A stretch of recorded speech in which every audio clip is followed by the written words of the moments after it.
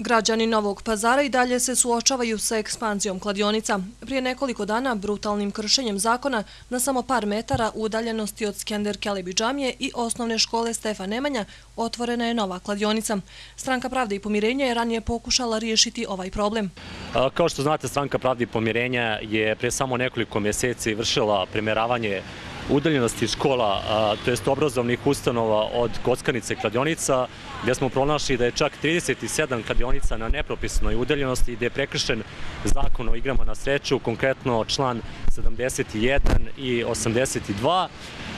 Sada evo imamo tu kladionicu, vi znate da smo mi nekad ono pevali one pesme od kuće do škole, od škole do kuće, uvijek se ponešto šapuće, Sada je naša realnost da pevamo pesmu od kuće do škole, od škole do kuće uvijek se nešto odigra.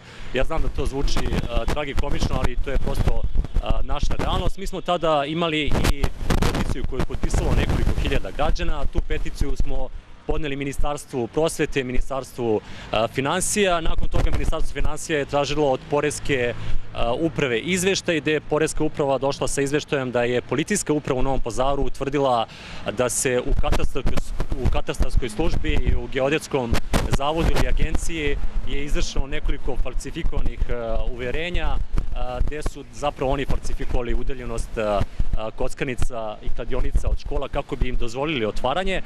Nakon toga je usledilo čak zatvaranje četiri kladionice i to je bio jedan pozitivan signal ali kao što vidimo i dalje se kockarnice otvaraju, niču kao pečurke.